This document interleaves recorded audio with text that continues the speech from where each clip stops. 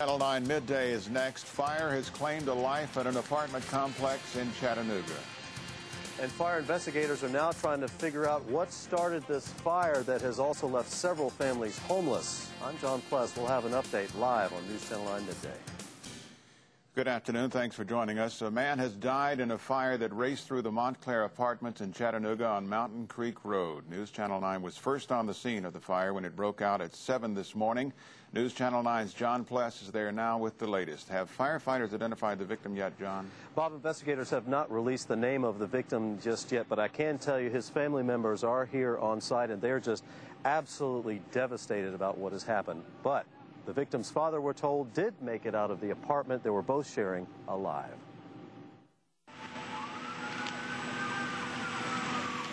People who live in the Montclair apartments wake to the sound, the smell, and the sight of an out-of-control fire.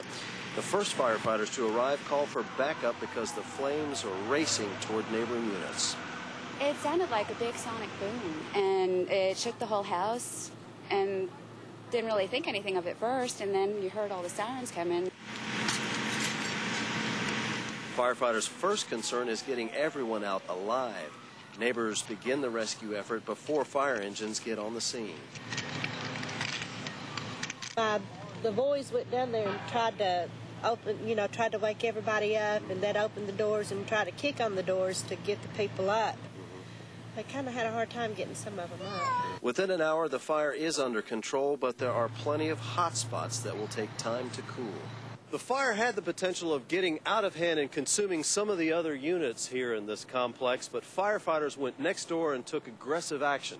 In terms of going into uh, units ahead of where the fire was, apartment units, um, going upstairs, pulling the ceiling out, um, and then basically heading off the fire before it could go any further.